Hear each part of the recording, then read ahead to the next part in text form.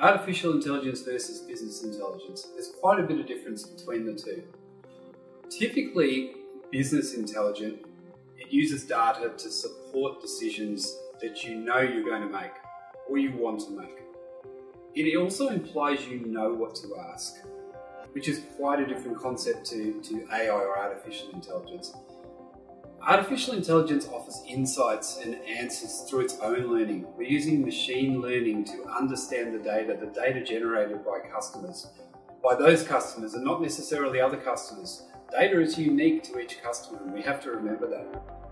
Artificial intelligence is around looking for the things that, that you don't know. It's about what you didn't think to ask. It's about things that could or will happen in the future or now. So again, historically, you would look at BI to go back and support decisions. You know what you're looking for, you have an idea. AI builds on that and says, maybe you don't know what you're looking for, and we're going to pick it out for you and tell you those things that you didn't know.